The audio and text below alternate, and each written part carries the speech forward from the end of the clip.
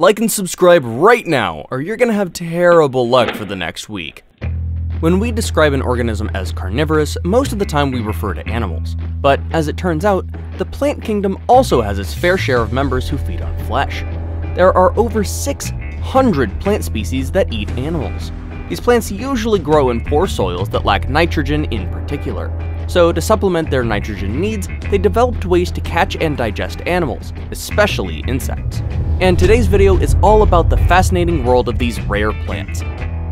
Number 10 the water wheel plant. The first carnivorous plant in this video is quite a peculiar one for sure. First, it's one of the few plants capable of rapid movement, a very important quality in its survival. On the other hand, it is completely rootless, hence it needs to be in water throughout its entire life. It's also the most widely distributed animal-eating plant being endemic to Australia, Europe, Africa, and Asia, more specifically along bird migratory routes. To capture aquatic invertebrates, it depends on its leaves that grow in whorls of up to 9. Under ideal conditions, these whorls are produced at a very fast rate, with at least a new whorl developing per day. The trap leaves are lined on the inside with hairs that sense contact with any aquatic invertebrate. Once contact has been established, the traps snap shut in as little as 10 to 20 milliseconds, which makes the water wheel plant one of the fastest movers in the plant kingdom. Number 9 sundews. Sundews naturally occur on pretty much every continent except Antarctica. So far, there are nearly 200 species that have been described, making this genus one of the largest and most diverse among carnivorous plants. They also have some of the longest lifespans among plant-eating animals, with a few growing to last as long as 50 years. Sundews are known for their shiny, dew-like drops at the tips of their glandular trichomes, the name was derived from these drops that seem to mimic the morning dew, and they play a significant role when it comes to the plant's carnivory tendencies. The drops are actually mucilage, a sticky substance that traps any insect unfortunate enough to land on the sundews. Such insects are usually attracted by the sweet-smelling secretions from the glandular tentacles. A trapped insect will later die either from exhaustion as it struggles to free itself, or by asphyxiation as the mucilage blocks its spiracles. This can take about 15 minutes. After that, the plant secretes its digestive enzymes that break down the meal with the nutrients being absorbed through the leaf surface. To maximize their effectiveness, the tentacles are hypersensitive to detect any slightest touch by prey. Also, they usually bend towards the center of the leaf to bring the insect in contact with other tentacles for a smoother digestion process. Number 8. Corkscrew plants. About 30 species form the carnivorous plant genus Genlisea, commonly known as corkscrew plants. The most common characteristic among all these species is their habitat, which can be semi-aquatic or wet terrestrial. Most can be found across the continents of Africa, South and Central America. Unlike other plants in this video that attract and trap mainly insects above the ground, corkscrew plants are more focused on obtaining their shot of nitrogen from underground organisms like the protozoans. For this, they have underground leaves that have been modified into traps. The white traps have a structure such that a small organism can't get out once it enters. That's all thanks to inward-pointing hairs that line the inner parts of the traps. Getting organisms to enter isn't much of a problem considering the protozoans are bound to find their way into this trap thanks to water currents. Once they land where they're required, the microbes are broken down by the plant's enzymes to provide nutrients. In addition to trapping and digesting small organisms, these underground leaves also anchor the plant and act as water absorption channels. Number 7. Rainbow plants. Rainbow plants are so named owing to their mucilage-covered leaves that shine when exposed to sunlight. In total, there are just about 8 species in this genus, all of which are native to the western parts of Australia. Although they bear a close resemblance to sundews, these two aren't related at all except for the fact that they both get particular nutrients from insects. And just like sundews, rainbow plants use the shiny mucilage to attract and trap insects.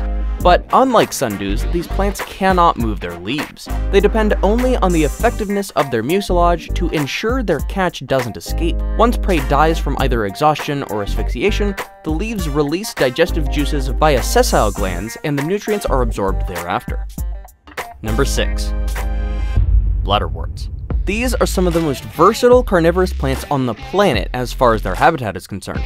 While they thrive best in wet soil and fresh water, they can be found growing in pretty much every continent except Antarctica. There are a little over 200 species under this genus. Being carnivorous, bladderworts are the only plants to utilize bladder-like traps to catch prey. And the size of these traps, though pretty small, varies amongst terrestrial and aquatic species. Most terrestrial bladderwort traps are small in comparison to their aquatic counterparts. As such, these land plants can only capture small prey, such as protozoa and rotifers. Aquatic bladders, on the other hand, can capture larger prey such as mosquito larvae, young tadpoles, and water fleas. The traps have a trapdoor that is populated with tiny hairs that act as sensors for prey. Once a potential meal brushes against these hairs, the trapdoor is triggered and the surrounding water along with the prey is sucked into the bladder. And once it's full, the door is closed. The whole process is swift and takes a maximum of 15 milliseconds. Since the water is not needed, it is continuously pumped out and might take as much as 30 minutes for the bladder trap to be ready again. Digestion of the prey starts immediately and might take several hours to completely dissolve, although some protozoans have been found to survive for several days. Number 5. Monkey Cups Monkey Cups is a genus of carnivorous plants comprising about 170 individual species. Being such a diverse group, they're endemic to different parts across the world, including China, Malaysia, Australia, Madagascar, the Philippines, and Indonesia. These plants are known for a shallow root system and climbing stems that typically average between 10 and 15 meters in length. From the stems, alternate leaves arise which, further on, give rise to tendrils. It's these tendrils that go through various stages of development to form the cups that are common in this genus. The common name monkey cups stemmed from an observation of monkeys routinely drinking rainwater from these cups but usually the cups contain the plant's secretion that serves as a trap for unlucky insects. These insects are usually attracted to the cup by its colorful mouth and nectar glands. The cup entrance is also slippery, which increases the likelihood of an insect traveling down to its ultimate death. The bottom of the cups has glands that not only suck nutrients but also ensure the same are evenly distributed around the plant. Besides insects, some species have also been found to trap bigger prey, like young lizards and rats. Number 4. Cobra Lily. Cobra lilies can be found growing naturally in bogs and seeps in cold running water. The plant is endemic to the US, growing specifically in Oregon and California. One distinct characteristic of this carnivorous plant is its leaves. They're tubular with a swollen end from which two other pointed leaves emerge from. This gives the plant a resemblance to a cobra poised to attack, with the tongue out hence the common name. Just like the corkscrew plants, cobra lilies use the lobster trap to capture insects. And lobster traps, getting in is easier, but there are a whole lot of structures that make going back an impossibility. Once the insect is safely inside, the plant leaves just a small exit point while curling in on the prey. As the insect frantically tries to get away, it is presented by multiple false exits that serve to exhaust it, to finally fall further down into the hairline tube that seals its fate as far as escaping is concerned. Digestive juices take it from here. Number 3. Butterworts. The Pinguicula genus, or more common butterworts, boast of about 80 species endemic across the Americas, Europe, and Northern Asia. Unlike the rest of the carnivorous plants in this video, butterworts don't have specialized parts in catching insects. They instead just use their leaves, which have certain modifications for this reason. There are two types of cells on the leaf surface, namely the peduncular and sessile glands. The peduncular glands release a sticky substance forming water-like droplets on the leaf, which attract water-seeking insects. Once prey lands on the surface, more of this substance is released, making an escape impossible. The initial shot of nitrogen from the insect triggers the sessile glands to release digestive enzymes that act on the insect to release the required nutrients. The enzymes here include ribonuclease, amylase, phosphatase, esterase, and protease. Fluids from an insect are absorbed by the leaf through the holes on the surface. Interesting to note is that there are some butterwort species that aren't carnivorous all year round. Some form carnivorous rosettes during the warm season and replace them with non-carnivorous leaves when the cold season comes knocking. Now it's time for today's best pick. Today's photo was sent to us by a subscriber, so if you come across a photo online and want to know more details about it, just send it over to us. We might even feature it in a future video. Number 2. Venus Flytrap. Of course, the photo here is not the famous Venus flytrap. We're pretty sure such a plant doesn't exist. Obviously, it's a fine piece of some Photoshop geek, though we couldn't establish the exact source. Now to the Venus flytrap. This is probably the most known carnivorous plant and has some of the most advanced mechanisms among its peers. The trap itself is a pair of terminal lobes lined with mucilage at the edges. The edges of the trap are lined with hairs that are sensors to specific touch. That's why the trap doesn't snap when touched by just anything, say a rain droplet, because the hairs can tell apart prey and non-prey stimulus. To trigger the closure of the trap, a strand of hair must be touched in quick succession or if it's two different hairs, the time difference between them should be no more than 20 seconds. This all serves to ensure the plant doesn't waste energy trapping useless stuff. Before we move on, I've got a little challenge for you that'll take 5 seconds to complete. So here's the deal.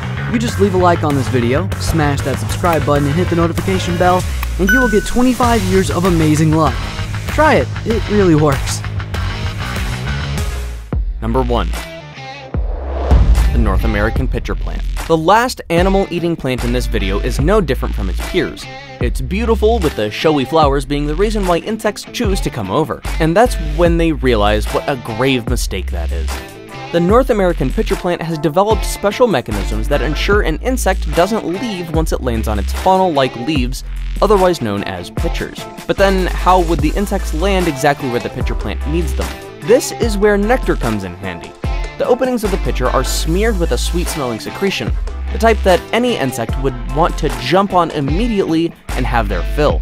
But once they get it, they get a bit of more than they hoped for. The nectar in this pitcher plant is intoxicating, and once an unsuspecting insect draws in some, it slides down into the waiting trap below thanks to the slippery walls. As soon as it touches down, it's game on for the plant. Digestive enzymes kick in immediately, devouring the insect to obtain so much needed nutrients.